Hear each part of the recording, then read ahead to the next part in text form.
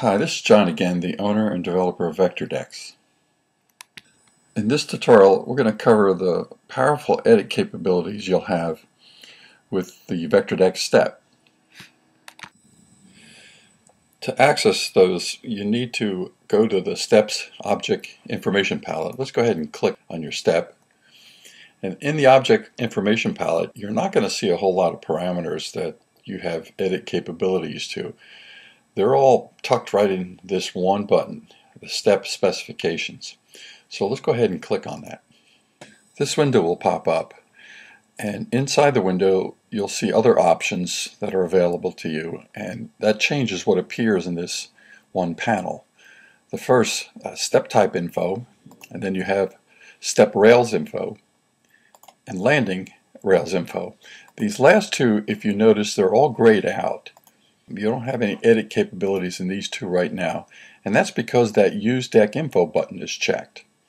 And most of the time, this will be the case. Uh, whatever rails you have on the deck or whatever finishes you have on the deck, you want to pass down to the steps and the landing, and you won't be making any independent changes. But you do have that capability. If you check that box off, then these edit information comes up these are all basically the same exact type edit capabilities that are located in VectorDeck's frame tool. And that's probably where you want to work with it so it'll pass that information down. But in this tutorial we're going to discuss primarily the step type info.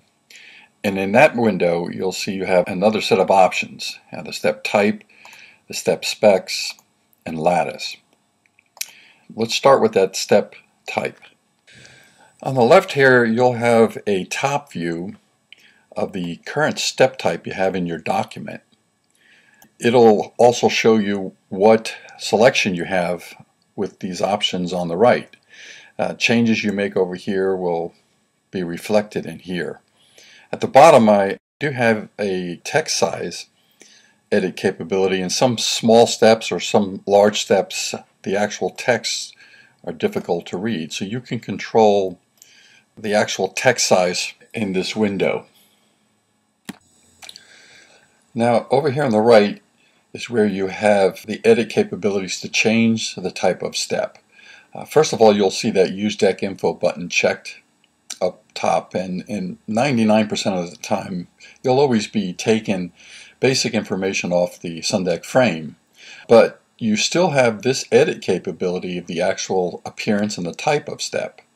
When you make any dimension change in a lot of my menus, I have this apply dimension change button. So that'll only affect this particular deck height.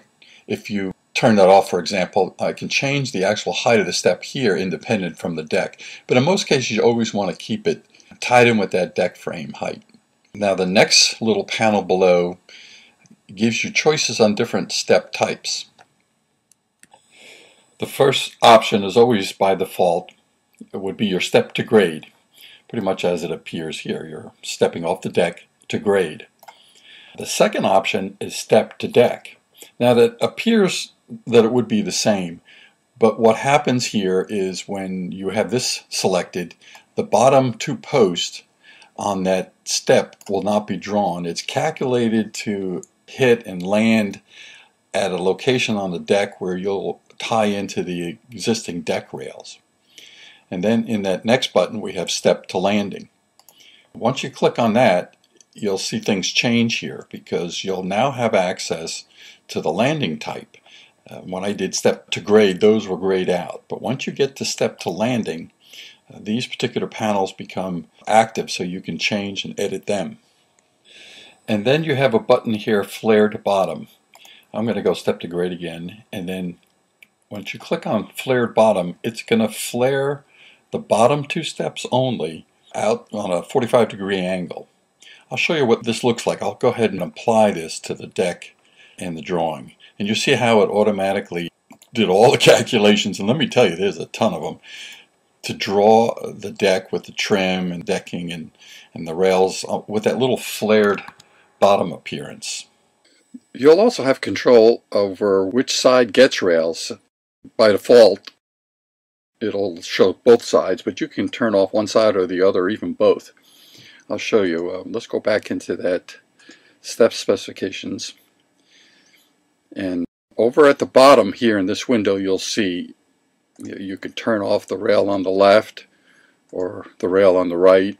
I'm going to leave that right rail off and we'll go back into the document. You'll see that'll be turned off.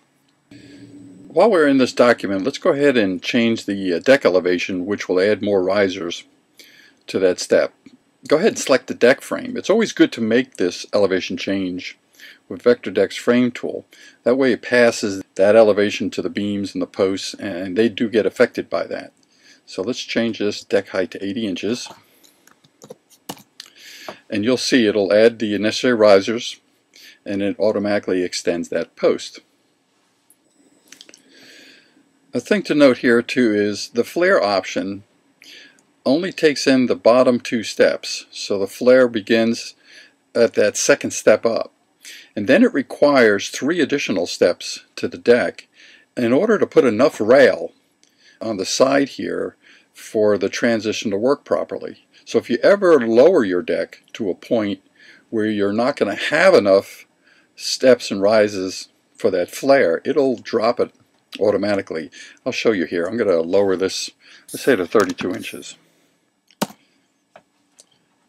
Now it's going to adjust everything, but it dropped that flare because it's just not enough steps to produce that flare and have enough, basically to have enough rail in this little transition period here.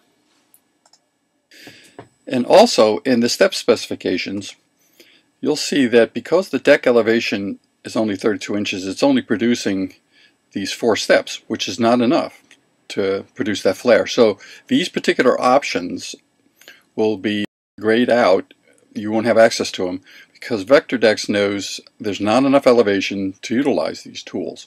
Now if I, um, I'm going to turn Use Deck Info off here so we can raise it within this panel. Let's raise it back up to that 60 inches we had before and hit that apply. Now you'll see we can utilize that flare again and these particular controls are now accessible because there's enough rise and there's enough run to utilize these options. Now in our next tutorial, we'll get into the step to deck and a step to landing. The step to landing is a very powerful option that you'll have where you'll have a whole slew of different type of transitions here. But we'll get into that in our next tutorial.